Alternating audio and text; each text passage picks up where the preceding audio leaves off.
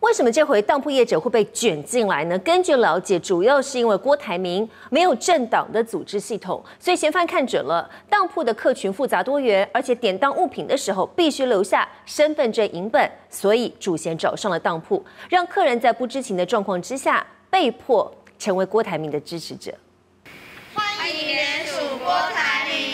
全台各联署站不受风波影响，一早职工们仍卖力呼喊口号。但郭台铭联署站被爆出花钱买个资，审信主嫌遭到收押。而这回联署社会选案扯上当铺业者，就是因为郭台铭没有政党组织系统的帮助，只能靠地方人士牵线。我要非常非常非常的感谢每一位联署人。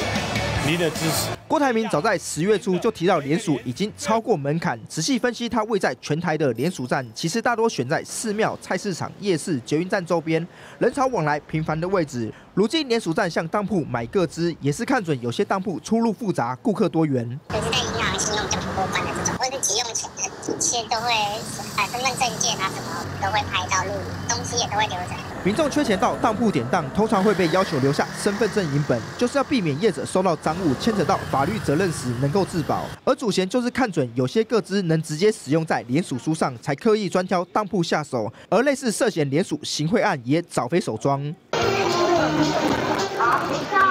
先前新竹新浦镇代会主席兼北新加油站总经理的王贞基，就被检警查出替郭台铭以每人四百元的方式花钱请乡民联署，最后遭到羁押禁见。如今又有当铺系统加入参议咖私下贩售各资，遭到检方查处。郭台铭的选举之路可以说是一波未平，一波又起。记新闻，严海去张全采访报道。立刻下载金新闻 App，一手掌握新闻时事，尽善尽美，尽好新闻。